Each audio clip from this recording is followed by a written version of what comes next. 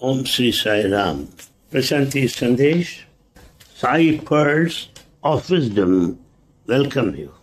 We have been going through the biography of our most beloved Bhagavan. It is not simply narrative and merely descriptive. This exercise is taken up with a good intention that we should draw lessons from his life and learn to improve the quality of our life. That is the purpose of Avatar. It is in this line, with this goal, we started the study of the biography of Bhagavan Baba. Well, after undergoing through ordeal, torture, harassment by everybody, finally, Baba seemed to have determined to be congenial and cooperative, and Eswaramma and Subbamma were allowed to feed him with the delicacies to their full delight. One day, someone from Penukonda, probably at the insistence of the lately provoked Keshavaiah, came to the Raju home. Having heard of Raju audacious claim that he was the Sai Baba of Shirdi, he threw out a challenge with a glaring eye. We know who you are. You are just a small boy, the son of Venkama Raju and Eswaramma. But if you are the same Sai Baba, the sub-registrar worships, let us have the proof now. Hearing the unknown voice, ringing arrogantly through the house, Eswaramma emerged from the inner apartments. I shall give you the proof, said Raju, unruffled. He asked that flowers be brought to him. The man asked Eswaramma herself to bring them, and he, she did so with trepidation in a quick gesture, flung them on the floor. There, that is who I am. They all saw the petals arrange themselves to form Telugu words Sai Baba. Well, the tongues stopped wagging. Keshavaiah later visited Puttaparthi, staying for four days and participating in bhajans. Before he left, he said, You will be greater than me. Great things will happen. The whole world will come to you. You will have Indra Vaibhavam. Rulers and angels will come to your feet. Raju offered Vibhuti and he accepted it. About this time, Eswaramma chose to reveal a past vision to Subbamma. In it, Raju appeared before her as an old bearded man. Then she remembered the old times when Raju, as a little boy, spoke of an old fakir who used to feed him rotis. Those puzzling events now took on a mysterious dimension, revealing a connection that was to clarify itself in the years to come. Subbamma instinctively grasped the situation and told the anxious Eswaramma not to let her son pranks mislead her. After all, she counseled. Was not Krishna also equally mischievous, calling himself Hari at one time and Gopala at another? Both women were relieved that Raj was active again, though he did not associate with his companions.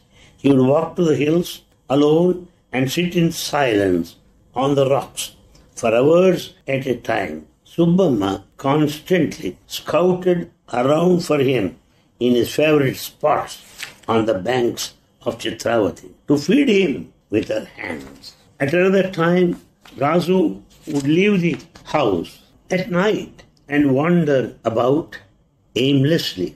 One day, when his sister Venkamarazu called Raju to her home, his childhood friends Tunga Gangappa, Kamsali Venkappa, and Vasi Narayana also accompanied him. Raju went and lay down on the bed. She asked his friends to keep an eye on Raju while she went next door.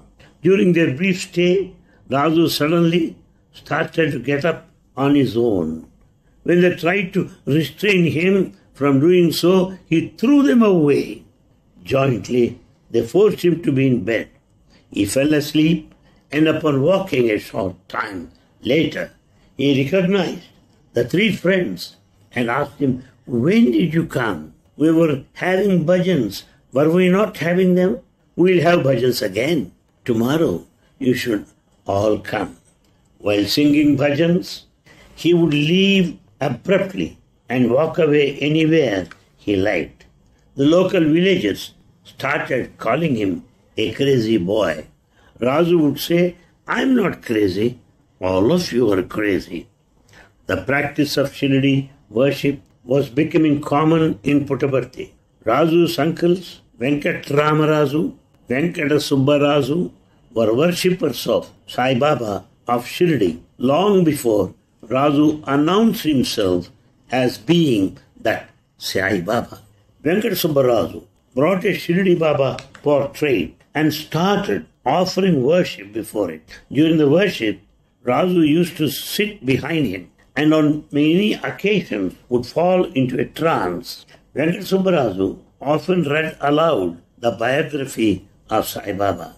Whenever he erred while reading, Raju would point out the mistake and explain where the mistake was, including page number, stanza, or line. Raju would sit on a deer skin before Sai Baba portrait and spend time alone without talking, eating, or doing anything. One day, many youngsters wanted to test Raju and know the reasons for his inordinate behavior. So they went and asked him, What, Satyanarayana? Why do you not eat or drink anything? What has happened to you? Raju told them, You are all mad boys. Saying so, he moved his hand on the deer skin, materialized a four anna coin, A N N A, meaning equal to 25 paisa today, four anna coin, and gave it to them. They were surprised. They took it and brought coconuts and incessant sticks for two annas, returning to the room where Raju sat, breaking the coconut before him. Raju asked them, Why have you brought all this? I give it for your personal use. So, no, don't do that. So, you buy some eatables. All of them then realized that Raju had some powers which made them more curious than ever. They wanted to test him further and decided to take him to Chitravati sands. Once there Raju said, Tell me what you want. They all demanded that Raju give them sugar candy, sweets, and many other things. One after the other, he gave them all that they wanted. He circled his hand in the air and manifested for them vibhuti. From then onwards, they would visit him daily. After a few days, they took Raju to the local Gangamma temple. It was season for the mangoes, and one boy in the group asked for a mango. Raju said, There is a mango on the tamarind tree. Go and get it. Raju insisted upon waiting at the Gangamma temple. The boy went up the hill and found a mango hanging to the branch of the tamarind tree. See this. He brought the mango back to Raju, who cut it and distributed pieces to all. The great power latent in Raju had finally taken over. A new persona of Raju was beginning to emerge. But the body still had to go through tremendous trauma.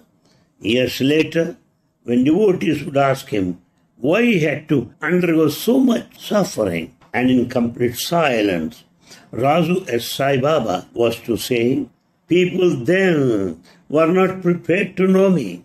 Besides, I want to teach humanity the noble ideals of patience, acceptance, and love, and put before others a good example. I had to tell them by and by who I am. Seshamaraju, however, was very critical of Raju's utterances.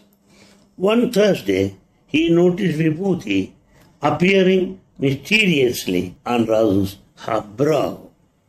When a seat was provided for Raju to sit on, Seshama Raju saw that the wooden plank moved on its own, settling at Raju's feet. He saw other inexplicable happenings like lime fruit appearing out of the blue, jasmine flowers, and vibhuti, and a rupee note moving up the wall and disappearing. Every Thursday he would go into a trance. Seshamaraj carefully watched every miracle as well as every unusual occurrence. He often verified Raju's predictions. Soon he was satisfied and thoroughly convinced that there was no pretense of any sort. His brother most definitely had some powers, even though he had not performed any austerities, gone to a guru, or taken upadesha, or done any sadhana. That is important.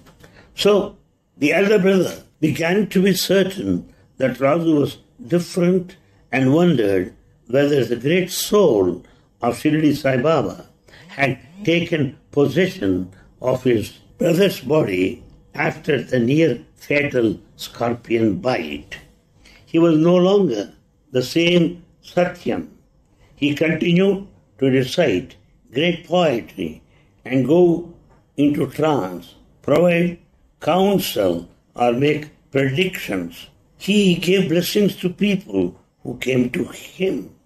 Soon Seshamaraju returned to the world of mankind as he had to resume his teaching assignment at Uravakonda. When school reopened after summer holidays, he decided that Raju should go with him and attend school. He was worried about Raju's future. For how could Raju continue living in the village, doing nothing and without an education or a job?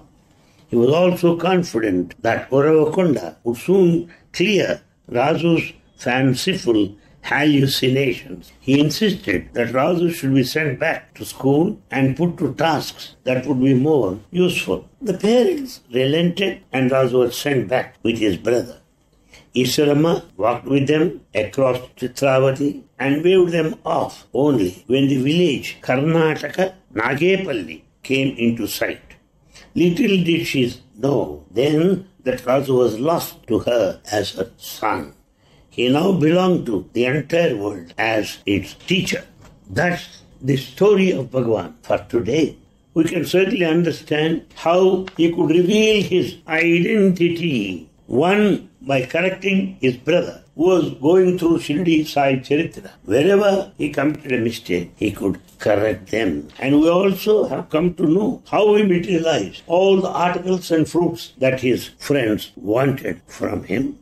It's really unbelievable and good fortune of Viswarama and also Subbamagaru to realize that Baba is Krishna himself, that they should not take it in a different sense.